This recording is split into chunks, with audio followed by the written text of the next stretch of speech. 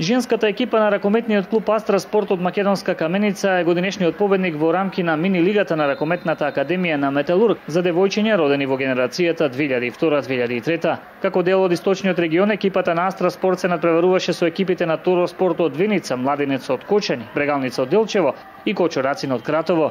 Првото место екипата на Астра Спорт од Македонска Каменица го освои со победите на тимовите на Репро, кои што го совлада со 7 спрема 4 и Макаловски во кој славеше тесна победа со 13 спрема 12. Ова е огромен успех за тренерот на екипата Мирјана Гошевска, која е една од главните координатори на екипите од источниот регион кои се надпреваруваат во рамки на Академијата на ракометниот клуб Металург. Купно дечиња има вака генерално ако имате некоја бројка што тренираат за во склоп на овака. Во Источна Македонија, значи во моментот сме шест града, Кратово, Македонска Каменица, Делчево, Кочени, Виница и Беров.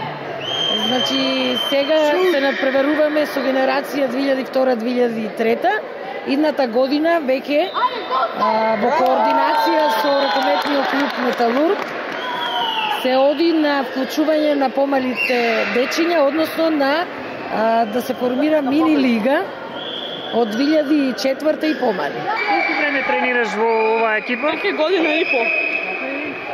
Многу е забавно, нови работи учиме, постигуваме многу успехи и така.